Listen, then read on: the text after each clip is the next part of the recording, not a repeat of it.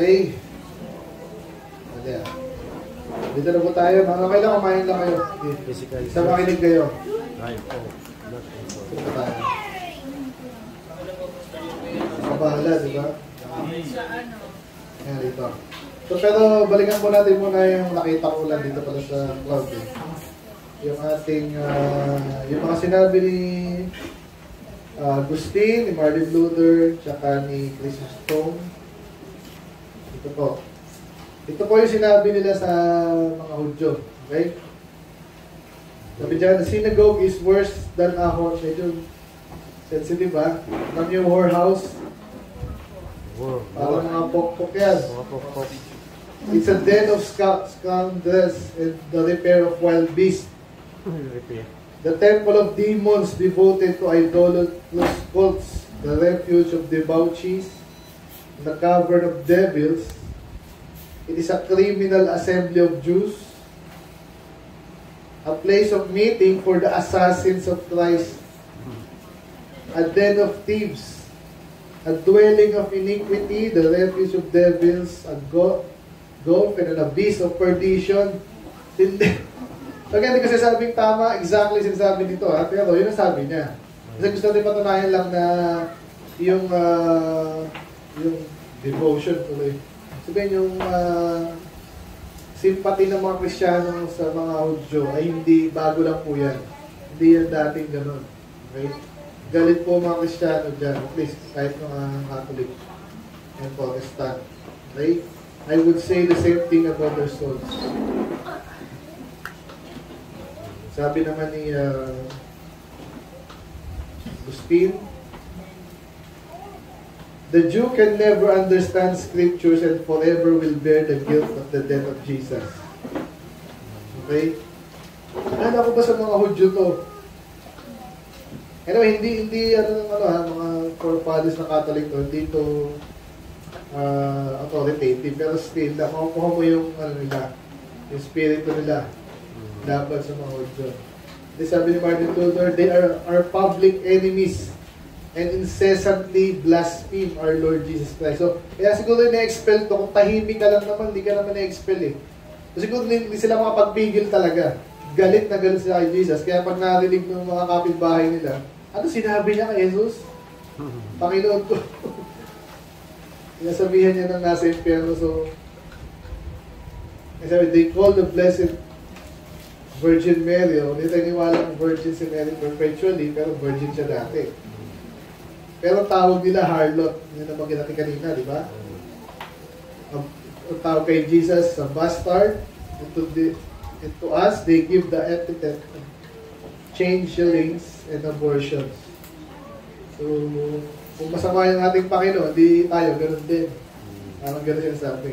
The synagogue should be set on fire and what whatever. Huwag natin gagawin yun, ha? Okay? Huwag tayo papatay ng Hudyo dyan, ha? Kaya sabi ko, ito yung sinasabi ng mga protestant. At kahit yung mga protestante, ginagawa po nila sa mga baptist. Hindi sinabing gawin natin pag may Hudyo dyan. Ano sinabi mo kay Jesus? Hindi tayo ganun. Hindi tayo balenting tao. Pero, kailangan maintindihan natin, pag ginagapang na tayo, niloloko na tayo, binababoy na tayo, especially yung ating uh, palataya,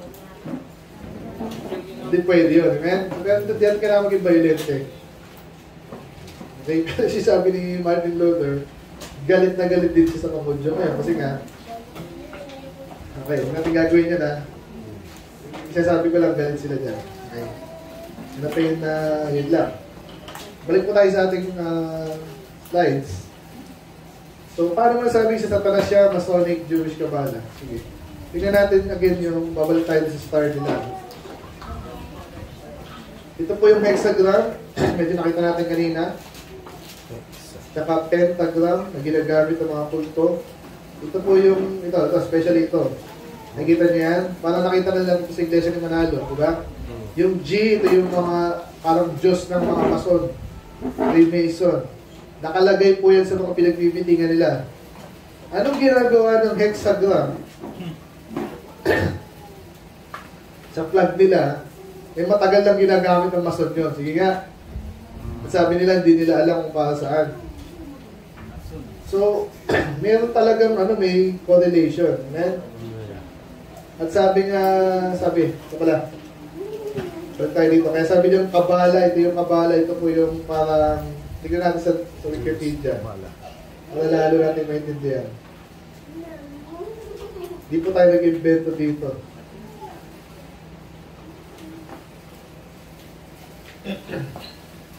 Yan. Kabala.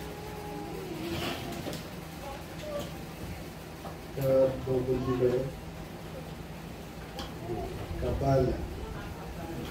Wala. Kabala. Yan. May Hebrew. Yan.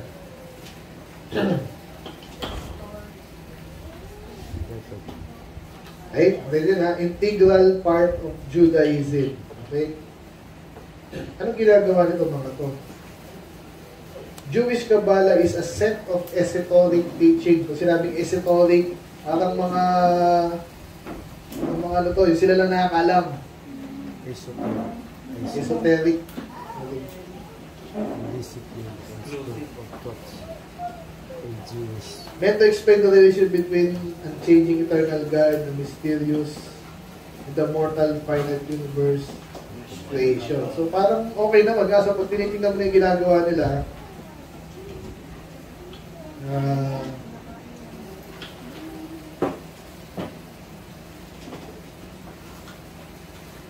ano yung ginagawa? Doon tayo sa mga ginagawa nila. Ayun, Hasidic pala yung sabi ko kanina. Yung may mga ganun. Hasidic. Hasidic. Traditions. Natin yung mga ginagawa talaga. Jewish mga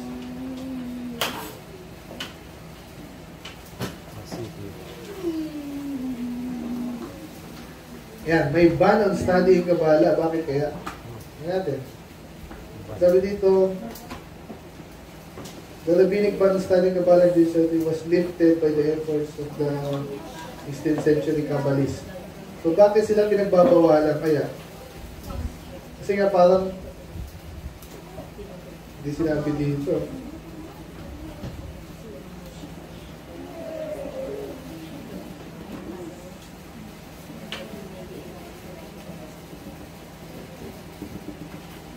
We will forever eliminate war, destruction, and man's inhumanity to his fellow man.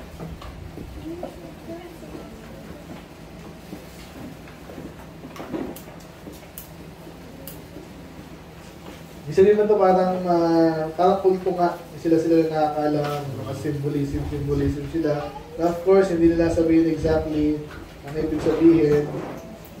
Pero, anong ginagawa nila doon? Minasaya sila ng oras doon. Eh, ano po yan? Ah...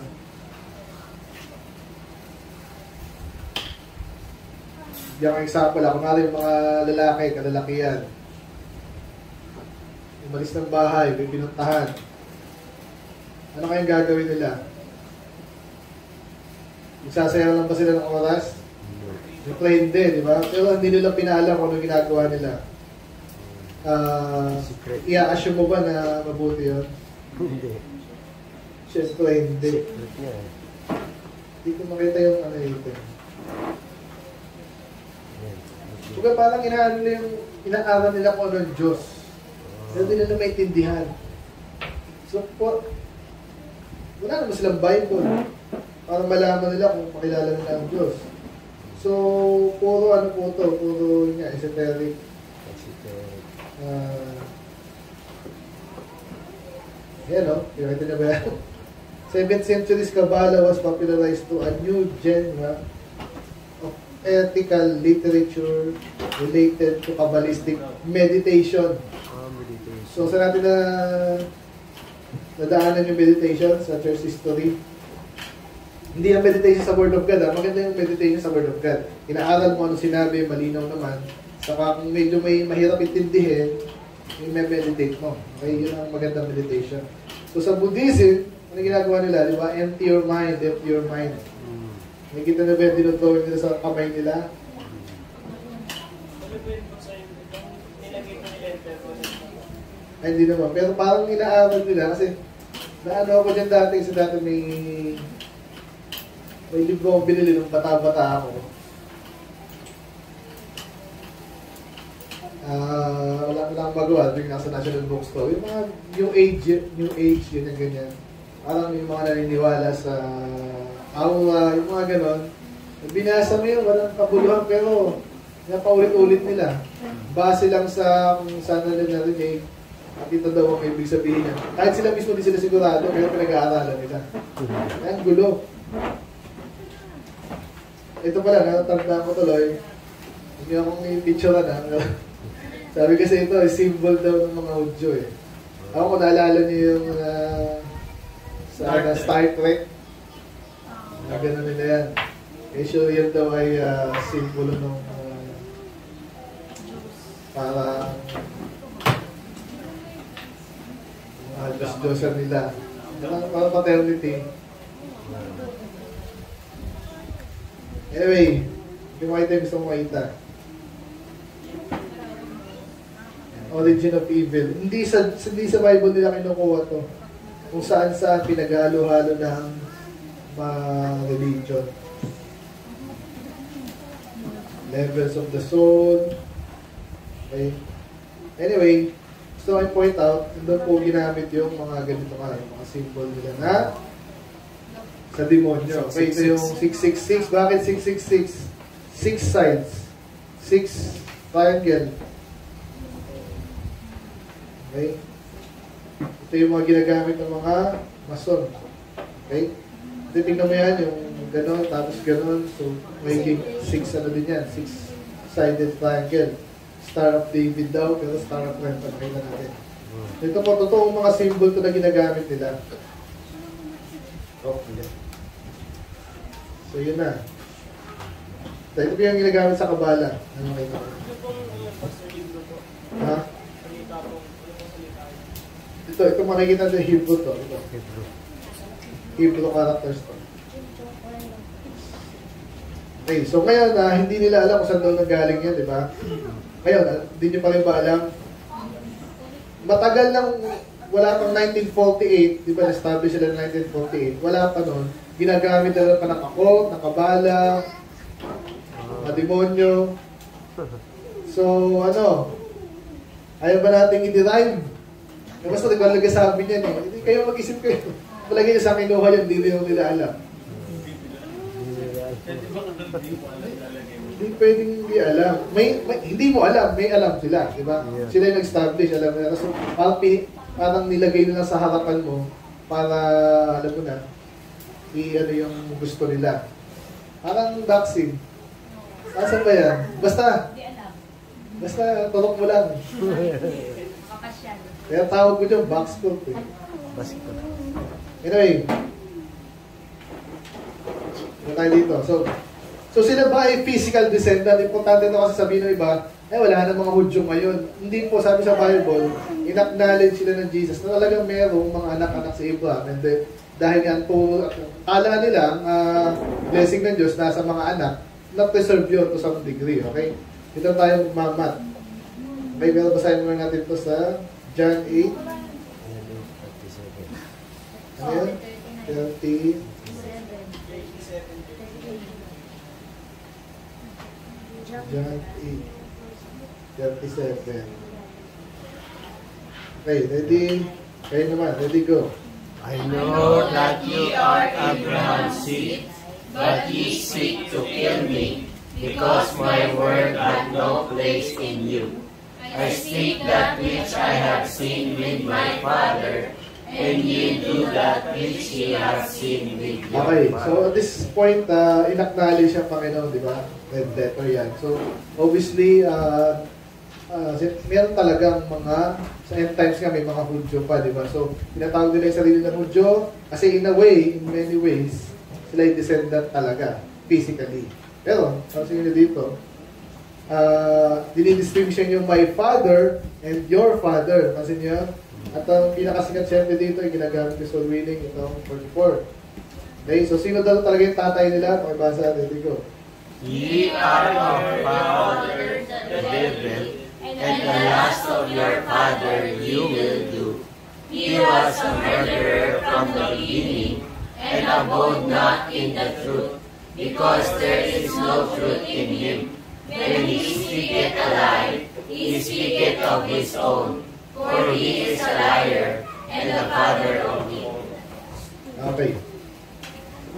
Sino tatay nila? Again, di lahat ng Hudyo tatay sa anak ng demonyo. So may mga particular na kinalaban kasi si, Di- si Jesus sa mga Pharisee. So yun yung mga yun, yung sinabi siya may demonyo ka, yun yung mga anak ng Diyos. Ah, sorry, anak ng demonyo. Kasi ba't mo sasabihin anak ng demonyo, anak ng Diyos? Di ba, baliktad? Again, di lahat ng Hudyo, pero may particular na mga anak ng demonyo na kinalaban si Jesus. So, pero, karamihan sila ay nakpari sa Panginoon na sila ay anak ng Abraham physically. Nakita niyo ba yun? Bakit importante ito? Kasi nga, nag- baka magkalituhan tayo. Pag sinabi si Pastor, naniniwala dyan, wala na daw Hudyo. Hindi yun sinabi ko. Sabi ko, iba yung anak ng Diyos, spiritual, at ah, yung pinili ng Diyos, mga Kristiyano na yun. Okay? Yung mga anak-anak ni Abraham, yung iba dyan na nampalataya, yung iba hindi. Pero collectively, sila ay ah, physical descendants nga, so tinatawag pa rin silang Hudyo. Pero mamaya makikita natin, hindi nga sila Israel. So mamaya makikita natin. Dito tayo sa Revelation 2.9 and 3.9, parehong sinabi yung synagogue of Satan.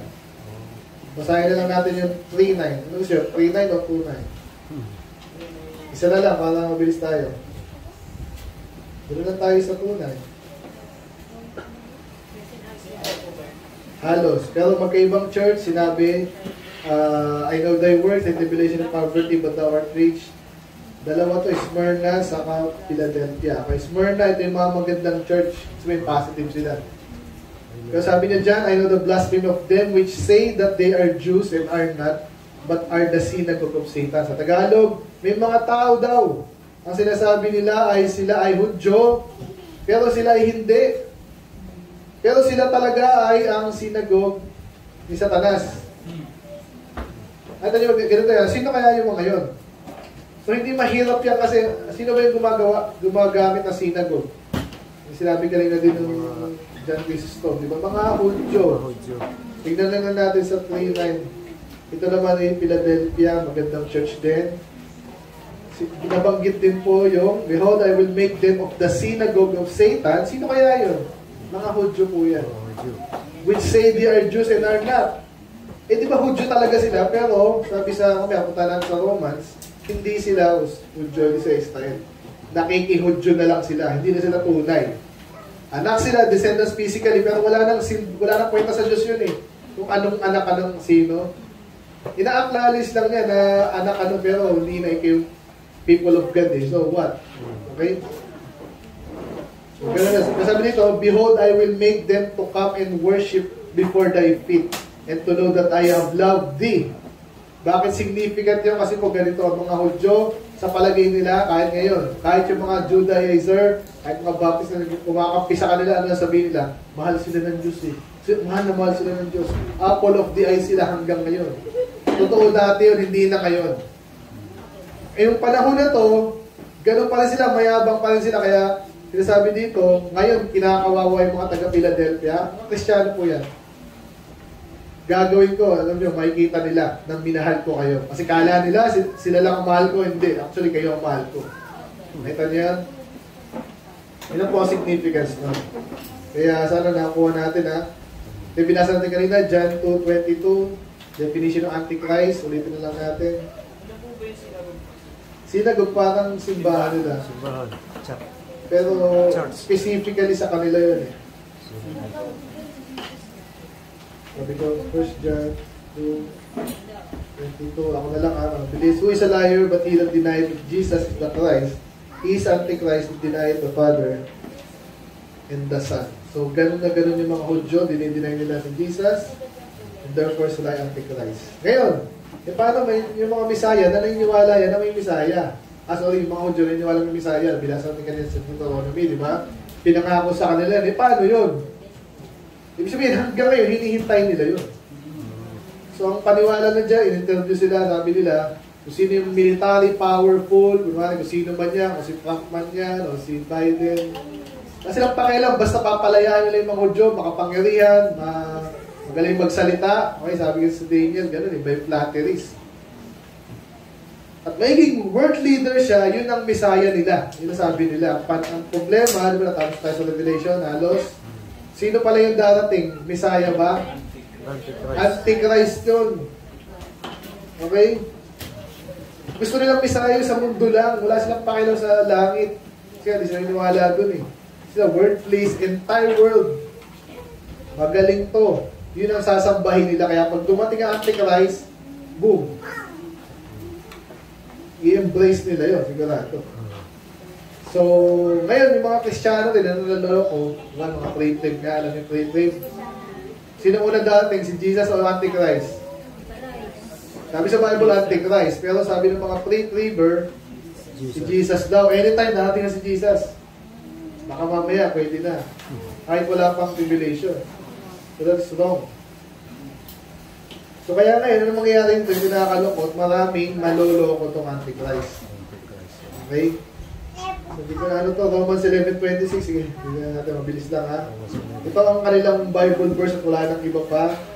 Pero, kinuha nila out of context. Pero pag ikaw, ako, maririnig mo sa kanila to. Ay basa, ready, go. And so all Israel shall be saved. As it is written, There shall come out of Zion the deliverer, and shall turn away ungodliness from O, so lahat ng Israel maliligtas. O, pastor, sabi yun. Lahat sila maliligtas. Ganun ba? Mamaya, balikan natin yan. Pero sabi sa Romans 9, 6. Yeah. Balik lang tayo ng dalawang chapter. Sino ba yung Israel? Ready, go. Not the word of God hath taken none effect, for they are not all Israel, which are of Israel. Okay, so hindi lahat ng Israel ay Israel. Ah, ay sabihin na, parang subset ito yung Israel, hindi lahat yan Israel. Eh, kaya, ibig sabihin pala, yung unang set na sinabi niyang Israel, may subset yon na yun yung talagang Israel. Naintindihan niyo ba yun? Parang, parang kunwari sa isang, ah, sa San Mateo, lahat ng nasa San Mateo, taga San Mateo. Totoo ba yun? Eh kasi nasa San Mateo, in a way, totoo. Pero in a way, pag tinignan mo na, hindi sa isa mo, ito nagbakasyon lang pala to, taga-people pala to.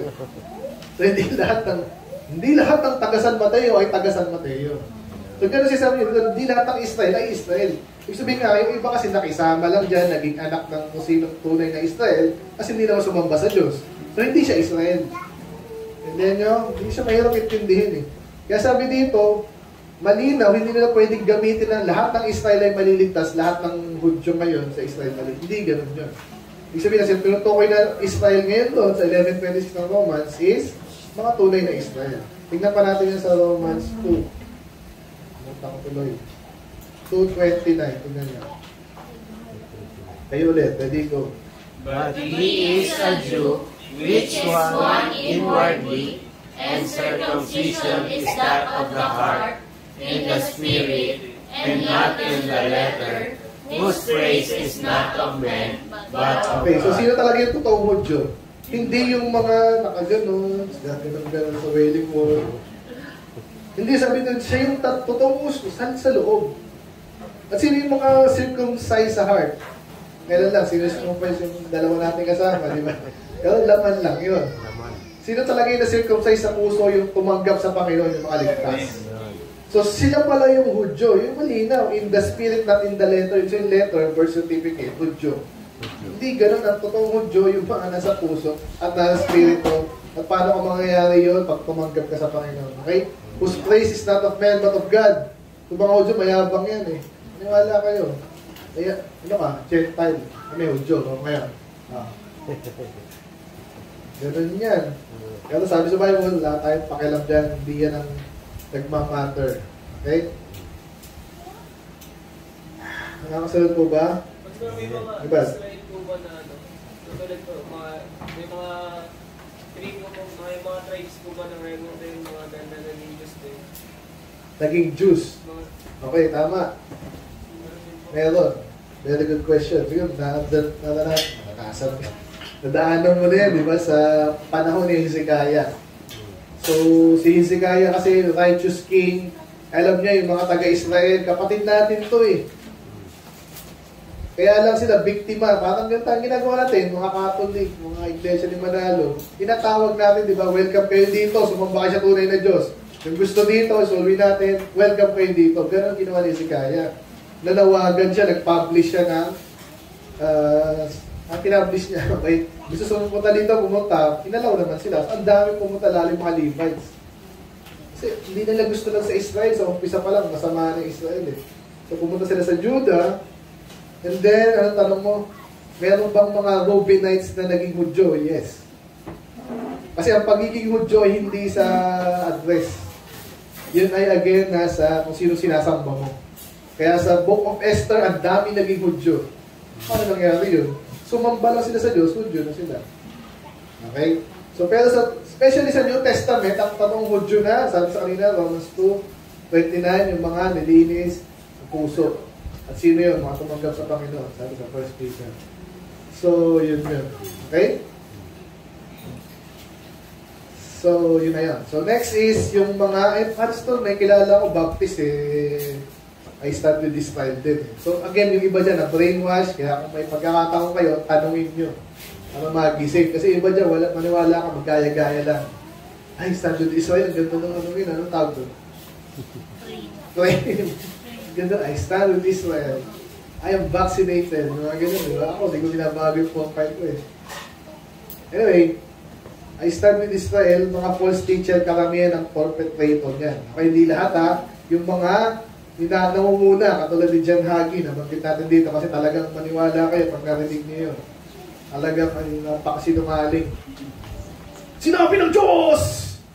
Dapat supportahan natin Israel! Pag may gera sila, dapat ganun din tayo! Kasi mga Amerikano, mayaman, di ba? Malakas yung military. Gusto nila supportahan ng Israel. So, ginamit nila yung kanilang posisyon bilang pastor, quote ko, para yung politika, political uh, uh, objective ng mga Hudyo ay supportahan nila. Tama ba yun? Actually, mga Kristyano dapat wala tayong pakialam ano mangyari doon eh. Diba? Gusto natin maligtas sila, pero di dapat meron tayong mission sa ano, Israel. Eh, nireject nga nila ang Diyos eh. anyway, kung may pagkakataon, why not? Pero hindi tayo mag-focus doon. Uh, parte ng, ng curse sa kanila yun. Na walang missionary gusto mag-mission doon. Kasi nireject nila si Jesus. Okay? So ano pa? Hindi, kailangan tulungan natin sila. Ito yung sabi sa Bible. Tama ba itong aking ano? 2 John 9.11 9 to 11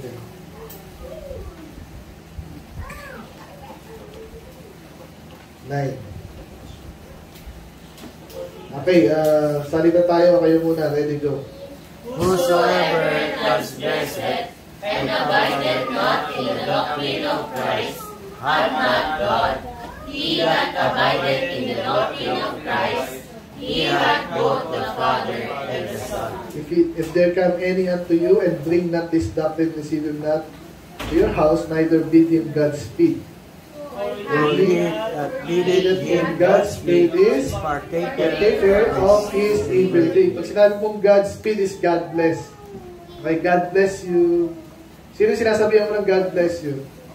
Mga pananampalataya, mga kapatid. Nasabihin mo ba si, ano si Vice Pangit? God bless you, God Vice Pangit. Di ba sabihan yun? Buisit ka nga doon, di ba? Hindi lang sa feeling mo doon kasi nga anak ng demonyo. Pag sinabing God bless, pagpalain ka ng Diyos. Hindi mo sasabihin yung anak ng demonyo ng gano'n kasi alam mo hindi siya magpapalain ng Diyos. Amen. So, pero itong mga pro-Israel, sino sinasabihan nila ng God bless? God bless Israel. Ulit-ulit yan sinasabi nila. Tama ba yon? According sa pinag-aralan na natin, ano daw mangyayari sa atin pag pag bless natin sila sa salita man yan, lalo na pag tinulungan mo financially. For he that biddeth him Godspeed is partaker of his evil deeds. So, pag sinabi partaker, para karang ano, sige patayin niyo yung mga Palestino niya yan. Tayong pakilam dun eh. Kung sinumpa sila ng Diyos, dito tayo, magsaluhin nila tayo sa mga pag may, may pag-asa pa. Sila talagang sinumpahan po sila dun eh. Yung mga naghihingi ng donation niya dito, mga, mga pera lang din yan eh. Ngayon, kung tunay na evangelize nila yun, hindi mahirap kasi. Imagine mo, God-forsaken ano yun eh. Place. O, nagpapadala pa sila ng Sa amin, actually, dyan ako na umano yung tenga ko doon sa may nagsalita sa amin, sa main. Medyo nagising ako doon, hindi ko pa alam to dati ha. Pero sabi niya, kayo mga aso lang kayo. Yan ang sabi ng Bible, yun ang sabi ko. Ah, kahit bago, binabasa ko Bible lalo New Testament. Hindi ganun ang pagkakaunawa ko, pero itong pastor na to, missionary to Israel, na hindi ko pa gusto ang gupit. But anyway, paano ako, paano, what in the world? Ano sinasabi mga aso daw yung mga Gentile? Eh, na sinabi ng Panginoon eh. Hindi yun ang sinasabi niya. Meron siya tinuturo doon na gusto dapat maintindihan natin. Ah, literal, ah, hindi po yun literal. Okay? At hindi yun na uh, dito, ah, yung mapanglait, hindi mapang ah, husga ng race. Okay? Kasi ang mga gumagawa ng mga racist. Kailan pa naging racist ang Bible? Kahit sa Old Testament, sumamba ka sa Diyos, hindi ka kakaiba sa iba. Yun ang utos niya. Ngayon, kung may mga hudyong racist, problema nila yun. Hindi yun ang sinabi ng Diyos. Pero sinasabi ng missionary na to, gano'n. Kasi nga, yung gano'n yung mga hudyo. At natangay siya doon, brainwash din siya. Okay, hindi gano'n ang Diyos. So ngayon, hindi tayo makikipag-isa sa Israel dahil tinanggihan nila ang Panginoon. Eh. Yun ang tama mong gawin. At pag nakipag-isa sa Kanya, may sumpa din sa'yo. Gusto mong sumpay ng Diyos? Huwag na. Amen? Sana nakukuha niyo ha. Ano pa? Jews need not Christianity. Ang sinabi ni John Hagee. Ibig sabihin na, yung mga Hudyo, mayaan nyo na, huwag nyo nang i-evangelize. Kasi, ano sila, may Diyos na rin sila eh. Kaso mali nga yung Diyos nila. So, lahat yun sa impyerno yung pag hindi natin sila evangelize. Amen? So, dapat natin sila evangelize. Kung meron tayong pagkakataon nga, meron dyan. Huwag nating i-isolate na may sabi nito mga to na hindi na kailangan ng Panginoon. Lahat ng tao kailangan ng Panginoon. Amen? Maling-mali yan. Eh, sabi pastor, si John Hagee, ano naman yan eh. Ah, hindi naman Baptist yan eh. Eh, may mga Baptist din na gano'n. Okay? Katulad ng Sam Gift. Sabi niya, hindi daw niya Messiah si Jesus. Ikilabutan ka dito eh. Baptist ba to? Hindi daw siya Messiah si Jesus? Yun ang sinabi niya eh. Mali yun. Ano sabi sa Bible? Si Jesus ang tagapagligtas ng buong sanlibutan. Hindi siya Messiah ng lahat. Okay, ito yung hinahanap ko kanina. 2 Chronicles 9.12 So, si Jehoshaphat ba ay godly king? Sa umpisa, di ba? Ganyan siya eh. Pero, sa mga iba, listahan kasi, sabi niya eh, yung sinabi ng mga iba sa Judah, yung he walked in the way of his father David. So, medyo positive si uh, Jehoshaphat. Pero may pagkakataon na sa ba ito nadataan? Daanan natin to sa isang ano natin eh, sa topic natin. So, nakipag-isa siya. Maganda naman yung makipag-isa kaso nga kalaban ng Diyos yung Israel nung time na yon. Ginawa na yung uh, nagkakapal yung anak niya, uh, nasawa yung anak na ng uh, Israel, ng daughter ng Israel. So, syempre, magiging ano yan, close, di ba? So, kaya ngayon, wala namang gera sa sa Judah, nakipag-gera ngayon siya kasi sinamahan niya si, uh, wala lang si Ahaz yun. Ahaz nga ata. Hindi, tingnan natin dito. Ito. Ahaz ba to o si Ahab?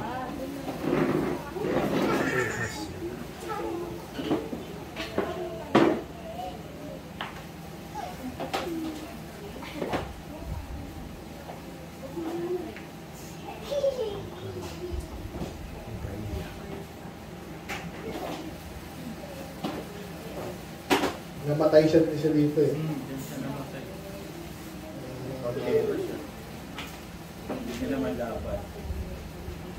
Yung sinabi na may kaya nila. Namatay sila. King of Israel lang eh. Dahil-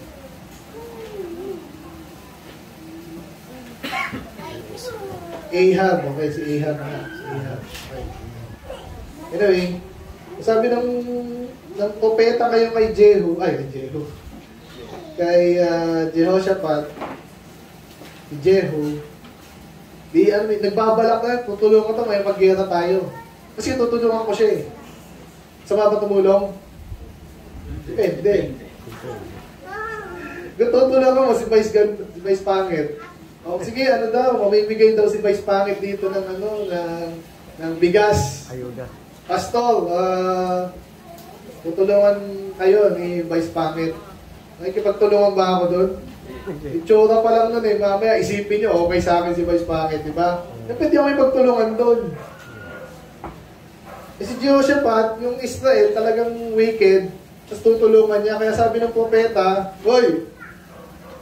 Yan, sabi dyan, Shouldest thou help the ungodly? Loko-loko yan, tutulungan mo. And love them that hate the Lord. Al kalaban ng Diyos yan, mamahalin mo. Therefore is not upon thee, from the Lord, from before the Lord. Kung tinulungan mo yung kalaban ng Diyos, susumpain ka.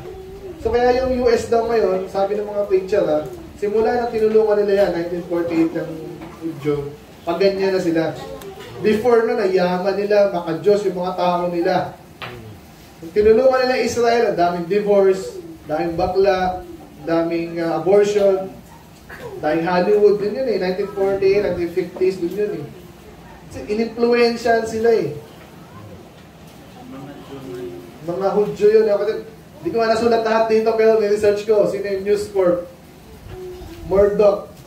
Mga Hudyo. Warner Brothers, Hudyo. Puro Hudyo, di ko nga natapos lang eh. Puro Hudyo, mayari ng ano, Hollywood. Tel Aviv. Capital nila, pinalitan na nila. Pinalitan na ba? Ngayon, alam ko pinalitan na nila eh. Tel Aviv. Kasi ang capital nila, di ba, Tel Aviv, tapos pinalitan nila, gusto nila Jerusalem, di ba, nagalit nga yung ano, mga Arabs. Pero anyway, still, ito yung malaking city sa Jerusalem. Alam nyo ba na sila yung number one gay or sodomite community? Sila yung binoto. Kaya nagbotohan. O, mga bakla, sa buong mundo, sinong, sinong city ang gusto nyo puntahan? Yung napaka-friendly sa mga katulad nyo, mga sodomite. Yung nagbotohan sila, syempre iba, San Francisco, California, Tel Aviv, New York, nanalo. Tel Aviv, maniniwala ka ba doon? Eh, yun ang, yun ang nangyari. Ibig sabihin, napaka-wicked nito. Kaya mga Kristiyano dyan, dapat magising. Wala ka sa katinuan, hindi mo alam yung facts. Nasabihin mo, yung Israel doon, godly. Nasabihin mo, i-bless natin ang Israel. Na brainwash ka na dyan. Amen? Another, ano to, no? So, ito, ginagamit to ng mga Baptist sa amin. Kahit sa amin, ginagamit. Kasi nga, pumapasok yung false doctrine sa church. Yung Shekinah or Shekinah, yan pala ay female God. May Diyos bang babae? Pero yun ang pumapasok ngayon kahit sa mga Baptist kasi pinasok ng mga Judaizer. Kung sabihin mo, kala mo, nasa Bible talaga, wala sa Bible yun. Sa Talmud, nandun yun. Talmud. Okay? Oh. Hindi naman. Yun nga ba kasi ang influence eh. Kaya narinig mo kung saan. Isang seminar na parang ganito, pero sa kanila naman, pro-Israel. Eh, nakinig yung Baptist doon, hindi na ko nag-research. Ah, Shekinah glory daw. Okay, sige. Yun palang nasa Bible daw. Sige yun. Hindi na natandaan hindi na nag-research. Wala pala. So, pwedeng naloko lang, madalas gano'n, mga Baptist. Naloko lang, na-brainwash. Walang Shekinah, walang Shekinah sa Bible. Okay? Kasi ang Shekinah is female god yan ang mga. Joe. Okay? Pinapasok nila. Shekinah, Shekinah, whatever. Sikina. Eh, English ano yan eh. Ah, nakikinig nyo yan, di ba? Kung saan saan. Pentecostal. Yun nga matindi pag pumasok yung Pentecostal Baptist, ibig sabihin may nagpapasok niyan. Saan sa nagpap... Ano, napangalan sa mga Kristiyano, di ba? Patay. Ah, anyway, different God yan. Okay, next. Nakain tayo ng 12.30 na yan. Physical Jew, tribe of. So, meron pa bang physical Jew? Ah, meron, pero wala na tayong pakialam sa akin doon. Hindi na yung mabigat sa atin. Bakit? Ang sabi sa Bible, sa Titus 3.9, sinabi kay Titus ni Paul, kailangan ba dapat alam natin yung mga tribe-tribe na yan? Titus. Okay, alamin mo yan ha. Hindi, sabi sa kanya, ready go. But avoid foolish questions and genealogies and contentions and striving about the law, for they are unprofitable Okay, so lahat tayo gusto natin magtanong, okay yun eh. Pero may mga foolish question, nadaan natin kay mga, ay mga, kay Soriano, nadala nyo? May kwento ng Diyos, nauna ko yun. So, yung matino mga preacher, wala tayong oras sa kalokohan. so, gagawin natin, doon tayo sa mga maayos. Okay, pag may mga loko-lokong tanong dito, ignore mo na, okay? So, pero kasama doon yung genealogies. Anak ba talaga si ganyan ng ano? Ikaw, anak ka ba ng ano? Ano ka ba? Maganda ka ba? Hindi ko alam eh. Eh, ano pala. Hindi natin natin pakialam doon. Mga Kristiyano kasi, sabi dito, ang pag-aaway-away, dahil yun ay walang kapakinabangan. Okay, sabi pa rin sa Ti- Timothy naman, wala dito. Sinabi ninyo kay Timothy, okay, avoid genealogies, endless genealogy. Ayan pala, sa 1 Timothy 1.4, iwasan mo yan. Bakit? Walang kwenta yan, hindi natin kailangan yan. Ito, nabasa na ba natin yung 10.12 ng Romans? Sabi doon, there's no difference between the Jew and the Greek. Automatic ba, God's people, basta Hudyo? Hindi. Pero ang daming Baptist ganun. No? Sila yung people of God eh. Ngayon, hindi. Hindi na. Pastor po yun. Kasi na-influensyahan na sila. Pag tinatanong mo, yabang mo naman. Sabi ko sa Romans 11, boast not. Inaaral nga natin eh. Hindi naman yung context nun eh. Acts 17.26, hindi ko na binasa ha. Ito na lang, 17.26 ng Acts. Ang ganda. Sabi dyan, may may dugo bang mas ma, ano, mas malapot? Ay, tama ba? Ay, basa, ready, go. and hath made one with blood all nations of men, for to dwell on all the face of the earth, and hath determined the times before appointed, and the bounds of their So, ang Diyos ang gumawa ng lahat ng tao, nilagay yung iba dito, nilagay yung iba doon, nilagay yung iba doon. Pero, galing tayo, di ba alam naman Genesis, Adam and Eve. So, yung sinasabi lang dito, malinaw, isang dugo lang yan. Isang lahi lang tayo lahat-lahat. Nagkumpisa. So, pag, pag race ang pinag-usapan natin, hindi tayo tatalo dyan. Yan ang sinasabi ng Bible. So, bakit itong mga Hudyo, napaka, kanino ka na ka ba? Kanino tribe ka ba? Okay? It doesn't matter. Ang nagmamatter lang, pag nanampalataya ka sa Panginoon. Pag nanampalataya ka, kapatid. Hindi nanampalataya, hindi kapatid. Eh, negon yun eh. Eh, Chinese yun, wala pa kailang, basta nanampalataya yun. Okay? So ito, nabasa natin ito kanina, Galatians 3, di ba? Basta ang ah, anak ng Diyos, yung anak ng promise, anak palataya, hindi sa laman. Okay. Kaya ah, one, two, okay, two slides na lang. Nasa ko pa. Sige ba, may question po ba? Ito sa Bible, ang daming sinasabi, anak ng ganito, anak ng ganito, anak ng ganito. Hindi nga sa kaligtasan yun. At lalong hindi sa pag ikaw ay pinili ng Diyos para gawin yung kan. Hindi ganun. Then, salgahin mo na lang. Ayusin mo lang kalga. Okay. Ephesians 2, Ephesians 11 to 30.2.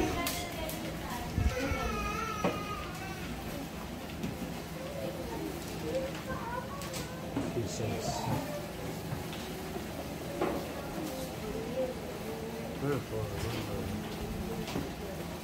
Wherefore, remember. May basa po ready, go. Wherefore, Wherefore remember that you being in time past Gentiles in the flesh, who are called circumcision, by that which is called the circumcision in the flesh, made by Ako hands. muna, and that at that time you were without Christ, being aliens from the commonwealth of Israel, and strangers from the covenants of promise, having no hope without God in the world. Yeah. But But now in Christ Jesus, you who sometimes were far off are made nigh by the blood of Okay, Christ. so anong sabihin natin alien? Sino alien dito? Okay, lahat tayo alien sa ibang lugar, di ba? Mali, mukha ko ng Amerika. So, stranger lang yun, hindi ako taga roon. Okay? Ngayon, hindi masama yun. Kaso, pinag-usapan kasi dito, Commonwealth of Israel. Sila yung pinangakuan, people of God, at saka nasa ako pangako, maganda. So, pwede ba tayo maging Israel? Oo, pag, uh, binasa natin kanina, di ba? Co-heirs with Christ, yung mga anak ni Abraham, nanampalataya sa Panginoon. Ganon din dito. Sabi dito, but now in Christ Jesus, you were sometimes pero pinag made nigh by the blood of Christ. Okay, so malinaw ba yun? Wala, hindi tayo stranger. Nabalik na rin tayo. But, hilo mo yan. Hilig ka sa ganyan. Okay. focus, focus. Hindi ko na nasundan, focus ka lang. Okay, makakasunod ka rin. Pwede ka magtanong pag nahuli ka talaga. Okay, may time pa tayo. May pa tayong 30 minutes eh. Dalawang slide na lang.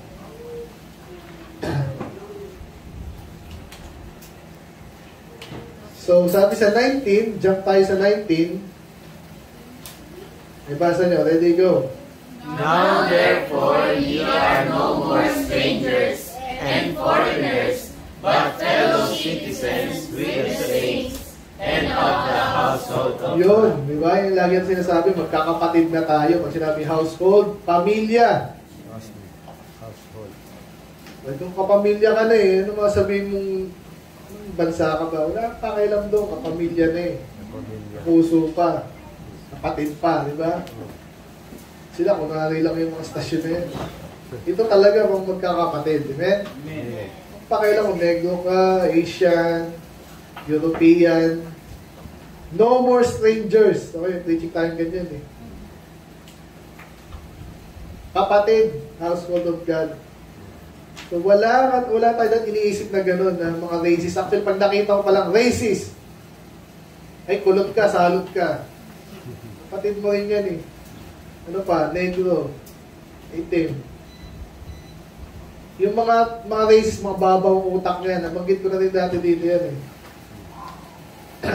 Kaya, hindi nila kakampihan ng Diyos. Old Testament, New Testament, hindi makakampihan ng Diyos. Pag racist ka. Ano ba? Matthew 21, 43. Yan, isa-isay natin to. Merong parable sa Matthew 21. Pero hindi lang basta parable to, talagang tinukoy niya to. Okay, uh, pwede ah. Lang. 42, kayo, ready go. Jesus said unto them, Did you never read in the scriptures, the stone which the builders rejected, the same is become the head of the corner. This is the Lord's doing, and it is marvelous in our eyes. Therefore say unto you, the kingdom of God shall be taken from you, and given to a nation, bringing forth the fruits Okay, malinaw po thereof. dyan. Kausap niya mga Hudyo at ah, binanggit niya yung prophecy na sinabi na dati na may mga tao na pinagkatiwalaan sila tapos ni-reject nila yung pinaka-importante. Yung sasabing cornerstone na tinatawag. Si Jesus yun. Pag ni-reject mo yung pinaka-importante, ano, ano, anong gagawin sa'yo? Ayaw mo doon, ayaw ka rin sa kanya. So, anong gagawin ng Diyos na ni- ni- ni-reject nila yung si Jesus? Papalitan sila. Bagin natin kanina, di ba? So, sino pinalit? Binasa natin kanina sa First, Ti- uh, First Peter 2, 9 and 10. Isang nasyon niya. Anong nasyon kaya yan? Christianation. Mga Kristiyano po yan. Sabi dyan, bringing the forth the fruits of the Sino ba nag-evangelize kayo sa mundo? Mga Hudyo ba? Hindi. Kasi sinasabi nga nila, ano eh, hati lagi sila. Alam niyo, hindi na, oh, maging Hudyo na kayo. Hindi sila ganon. Ang ginagawa nila sa mga, ano, kasi nga may yabang eh. Ang ginagawa nila, ah, medyo nagtuturo din sila, pero pag sakaling maniwala ka sa pinagtuturo nila, pero hindi ka Hudyo, wala ka sa dugo, may parang nakaset aside ka pa rin. May certain rules na sa'yo, merong certain rules sa kanila. Sa kayo na yan ha, obviously maling-mali na yon. Pero ginagawa pa rin nila, kaya bang eh. Ang sabi ng salita ng Diyos, hindi ganon. Kaya tinanggal ngayon sa kanila, again, sila, pwede sila individually, pwede silang masave. Right? Tandaan nyo yun ha. Pero nireject sila as a group, as a whole. Kung meron ka pang ah, paniniwala na labas sa Bible, tapos, kasi, kasi ganito yung mga Hudyo eh. Andun ka pa sa group na yun. Kailangan lumabas doon. Okay? Hindi mo kailangan, hindi, anak ako nun eh. Wala tayong pakialam sa anak, anak, pinsan, genealogy, wala tayong pakialam doon. Hindi magtanong. Hindi niya ba, Jasin? So, pinalitan na sila. O, pinalitan na sila. So, sino yung pinalit sa kanila? Yun pa rin yung, yun na yung Israel ngayon. Hindi ko nalagay dito, pero sa Ephesians din yun eh. Ito yung pinakamalinaw kasi may nagsabi sa akin. Kaso naman sa Bible na ah, yung mga Kristiyano ang Israel. Yun nga, Ah, wala. wala daw. Eh, isang hanap ko lang, na eh. No? Hindi yan. yan. Israel of God. Ephesians 6 na tayo.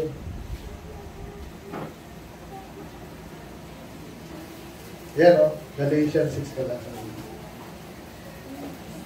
Ano yung rule na yan? Tingnan mo natin sa 15. Ready, go. For in Christ Jesus, neither circumcision availeth anything, nor uncircumcision, but a new Okay, so pag nasa Panginoon ka na, wala pakialam kung tuloy ka, hindi. Sa, sa, ang dapat is, sa puso, buo, ano, ano, bagong nilalang. Okay, 1 Timothy 2, 17 ba yan? O 2 Timothy 2, 15? O 17, ano mo A new creature. 16, as many, As many as walk according to this rule, peace be on earth, and mercy upon the Israel of God. ba't pinasok ko yung Israel? Ba't napupunta yung Israel dyan na Hudyo? Hindi, mga Kristiyano rin yan. Kaya tinanong ko yung nagtanong sa akin, Nasaan na sinabi sa Bible ng Israel ngayon? Eh, ano, mga Kristiyano, di pinakita ko yan. Oo nga, pero iba yan, spiritual Israel daw din tayo. Eh, para saan pa yung physical Israel nga kung ano bang nagmamatter sa Diyos, spiritual o physical? Kanina pa natin sinasabi, di ba? Wala tayong pakialam sa physical. Kasi pwede, spiritual, yun ang, yun ang ating nagmamatter. Tayo nakatutok. Yun ang may pakialam ng Diyos tayo. Spiritual. Kasi nga, kahit physical ka, sinaulo ka naman, anak ka ng demonyo, baliwala na yun. Or, physical ka, pwede ka rin naman maging Kristiyano. O hindi ka Kristiyano. Baka ka, lumabang ka sa Panginoon. Eh di Kristiyano, wala na tayong pakialam ngayon sa laman. Kanino ka pa, paulit-ulit tayo, no? Kasi para makuha nyo lang. Okay. Nasa mga meron tayong listener online. Okay? Okay pa ba kayo? Okay. Na natin to. Parang mamayang hapon, part 2 na tayo. Yung binasa natin kanina, 1 Peter 2.9, Holy Nation, now the people of God, sabi doon. Napakalinaw. Pag sinabing, uh, saan nasa Bible ang tayo people of God? Ito. Ay, hindi, Hudyo yan. Patay ka na. Yung sinabi, Hudyo yan. Nadating mo sa introduction ng 1 Peter. Sabi doon, ito yung tinuto sa, tinuto sa akin. Eh. Mga, ano ba yun, scattered abroad. Yan. Apostle Peter to the strangers scattered abroad throughout Pontius. Ah, mga Hudyo yan, hindi yan mga Kristiyano. Eh, ano sabi sa 2? Elect according to the foreknowledge of God to the sanctification of the Spirit of the obedience and Spirit of the blood of Jesus Christ. Eh, di, yun yung mga Kristiyano na Hudyo. Hindi, babalik tayo sa kanina na 2, 9, and 10 nga. Hindi sila dating tao, ngayon, tao na sila. Ng Diyos. Which means, wala, wala tayo, walang grouping dati. Yung mga Hudyo, matagal na silang Hudyo eh. Pero yung mga hindi dating people, tapos naging people, at people of God, mga Kristiyano yun, walang iba, okay? Sana naiintindihan nyo ha? Amen. Handa ka na ba yung nahin pagkain? Okay, sige, papusin natin yung slide na to. Kaya kayo, babalik tayo ngayon sa Genesis 12. Sino pala yung all nations be blessed doon? Sinong nation? All nation nga eh. Iranian, American, kahit sino ka. Paano po? Pero automatic lahat na hindi. Sabi yun, sa pamamagitan ng seed ni Abraham, sino seed ni Abraham? Si Jesus. Ibig sabihin nun ngayon, kailangan tanggapin si Jesus. Eh, pag di tinanggap, hindi, hindi siya kristyano. Hindi siya kasama sa pinagpala ng Diyos. Nakita niyo, so hindi siya physical. Kasi nga by faith eh. Kahit anong pilit mo, yung mga ginawa sa atin ng Kastila, okay lahat kayo, pila. Magpapagtis mo kayo. Ano kay Sing so, so, ano ba yun? Barangay, ah. Makakasuliman na tayo. no? Sino man yun? Uh, Sulaiman. O, sige, pila. O kayo, Kristiyano na kayo. Hindi ganun. Yung ginagawa natin yun ang tama. Punta tayo sa isang place, Tumis po kami sa ng Diyos, yung gusto, yun ang tatanggap. Sila yung mga kasama ko sa ng Diyos. Kaya kung kahit sila maging member ng church natin, ah, ligtas na rin sila. Yun lang, hindi nila matupad yung mga Bible, kaya may-invite natin sa church. Okay? Tapos na. So this time, iwanan ko yung isang ah, slide kasi mamayang hapon, medyo mabilis na lang. Pero andun yung meat and potato ng ating ah, pinag-usapan ngayong araw. Kasi ang, ano natin, ang Judaizer ang ating ano, eh, topic, hindi naman Jew. Pero kailangan maintindihan mo yung Jew para malaman mo kung anong Judaizer. Judaizer. Kaya introduction lang ngayong umaga. Okay? May question pa? Introduction ng Habang inihintay na lang. Sinabi mo sa Bible na ano, nagpangalan ng nagpangalan ng Juda? Pangalan ng anak niya na yun, eh, ni Israel. Judah pala yung pangalan. So yung 12, Sa tribe yun eh. 12 tribe. Di ba kasama sa Anak ni Rachel, apat na anak ni Rachel si Judah. Ah, sige. Si Oo, mga na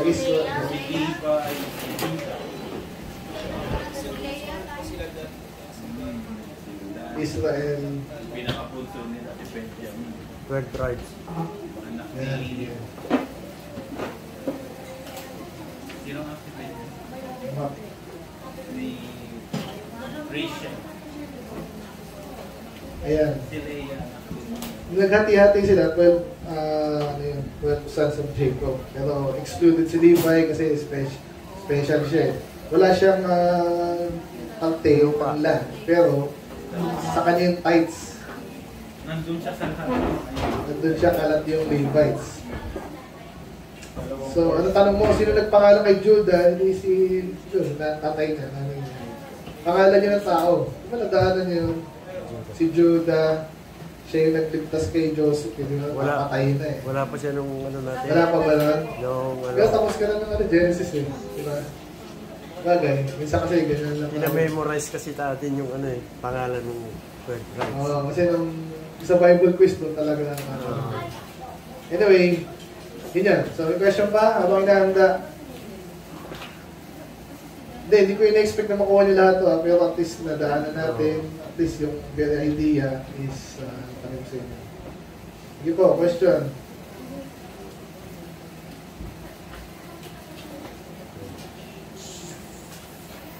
Ano?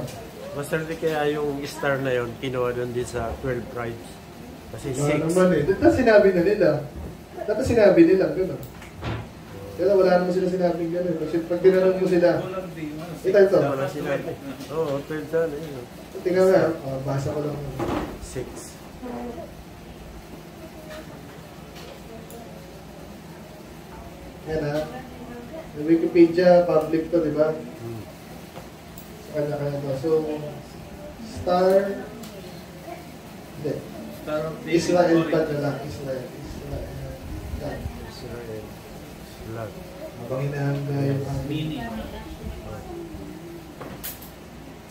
Ayan. Okay. Ayan. Star of David. Ano? The Jewish symbol Of Zion. Adopted by the first Zionist Congress. History. Origin. Ito na yung meaning nila, pero saan ang galing yun?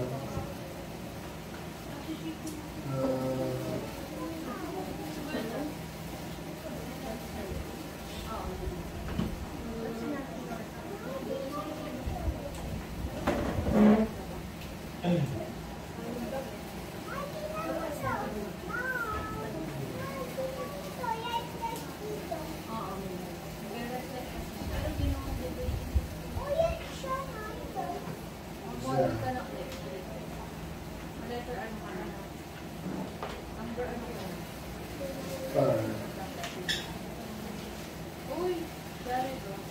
G of the Star of David. Euro. Euro.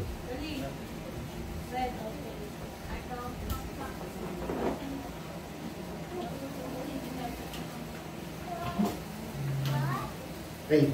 7th century Prague. Okay, doon na adapt. Pero hindi sinabi ko saan nagaling. Okay. Ah, Seventh century. ayun, pabalis ko naman.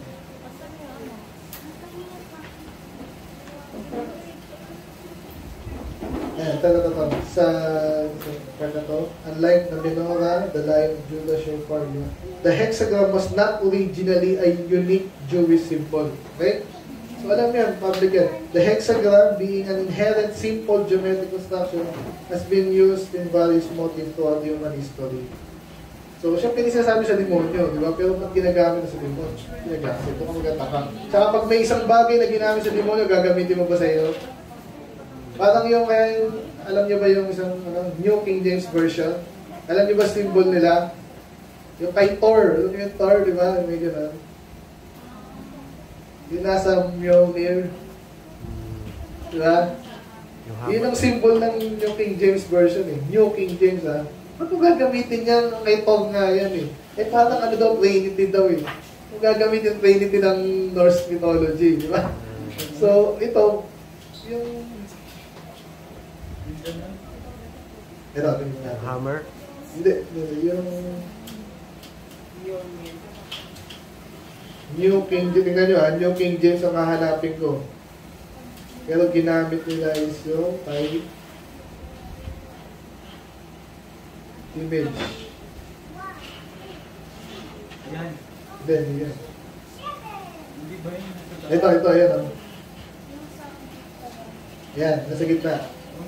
Trinity daw yan. Ayan din yung kay Mjolnir, di ba? Ayan, oh, ayan, oh. Oh, yeah. ay parang triangle. Triangle, triangle. Tingnan niyo yung kay Thor. Or Counterfeit. lift daw yan. Ba't may nakalagay counterfeit? Hindi kasi nga na-expose. Yan, oh. Yung King James. Okay? New King James, please. 6 daw yun. Uh, anyway, niyo Oh, yung parang six. Yan. Yan. Ito din. Avenger na to.